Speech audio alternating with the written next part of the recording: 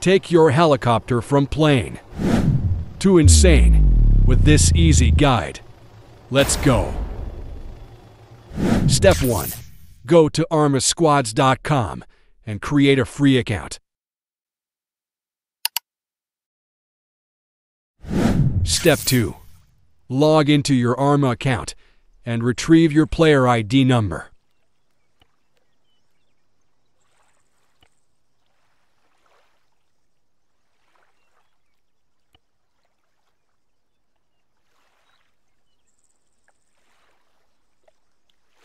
Next, go back to your Arma Squads account and enter your player ID number into the member area.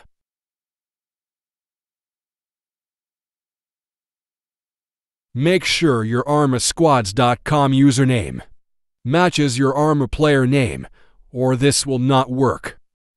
Okay, now we're back on the squad page, and we will click Edit and add our graphic for the unit patch. Click the Browse button to upload your image.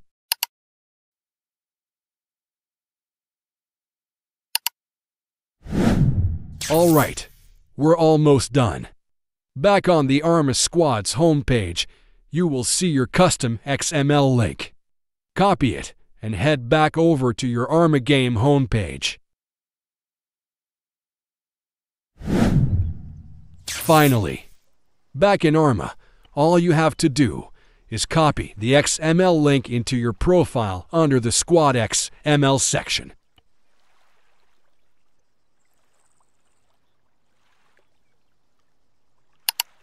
That's it. You now have your very own custom graphic on your heli. Now go and show it off. Oh, I almost forgot.